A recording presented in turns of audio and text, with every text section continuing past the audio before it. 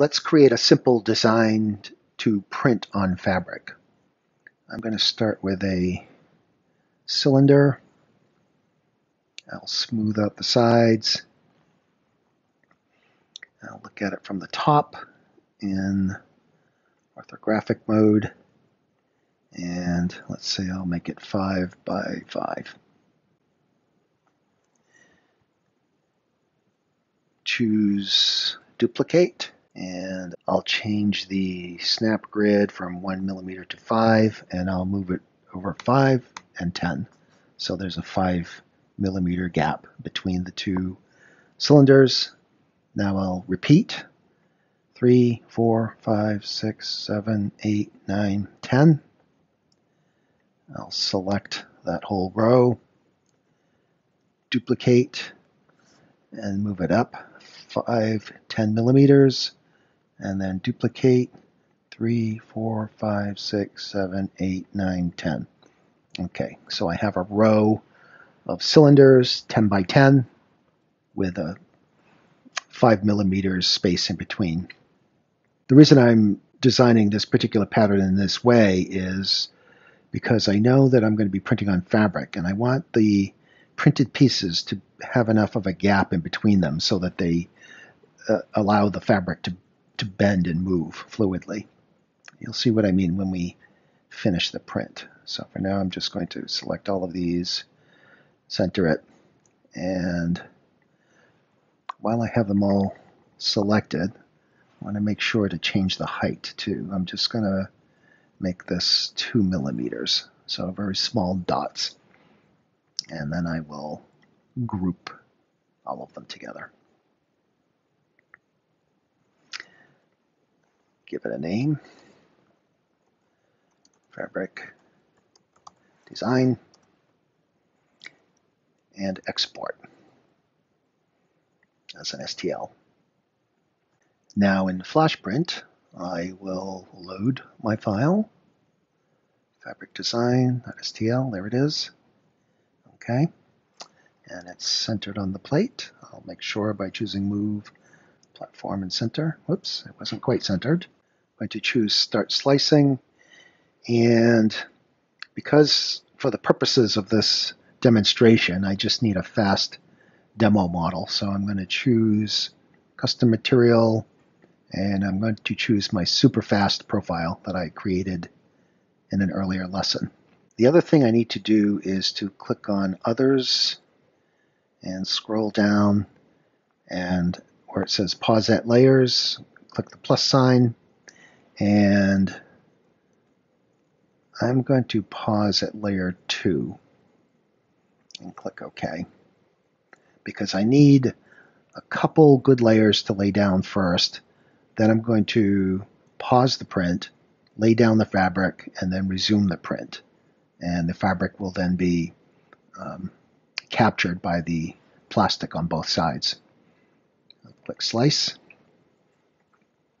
Slice Preview. So this is a 37 minute print.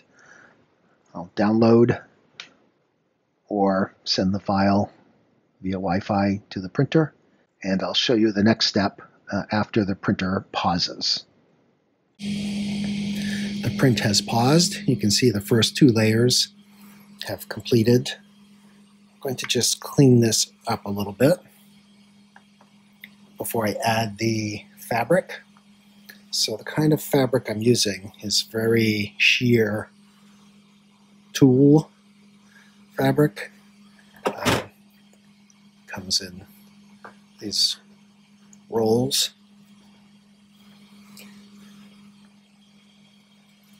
To keep the fabric in place, I'm going to use some masking tape. You want to make sure that the fabric is not bunched up anywhere, that it's nice and flat. Okay, that looks good on the screen. I'll tap the resume button and the print resumes where it left off. We'll come back after the print is finished and see what we end up with. The print is finished, so I'll carefully remove the masking tape. The tulle fabric is very delicate, so I'm being very careful not to tear it.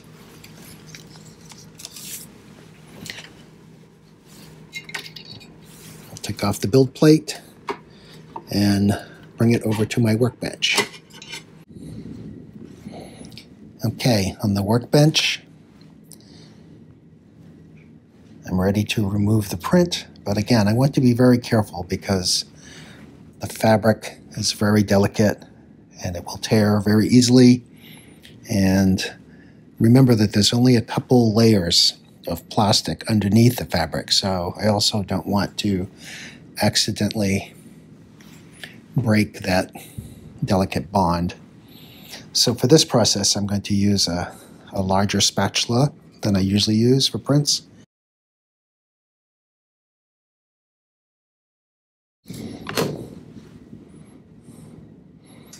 Okay, you can see that one of the uh, bottom pieces of one of the dots separated from the fabric, but the rest of them are good. There's some glue residue from the glue that I used on the build plate that will rinse off with water. And there's a couple loose tads of filament that I can clip up using the clippers. But the overall, the print looks good. You can see how fluid and flexible it is uh, because the space between the 3D printed parts is enough to really allow the fabric to flex a lot. So, what would you use this technique for? Well, that's largely up to your imagination. I've seen people use it to make clothing accessories, almost like jewelry. I've also seen people use this basic technique for cosplay, making costumes. Um, if you design carefully, you can have the top of one piece of plastic overlapping the bottom of another, right? If it's coming up at a 45 degree angle. And so that would end up looking like a solid scale type of effect. So there's a lot you can do with it if you are a clever designer.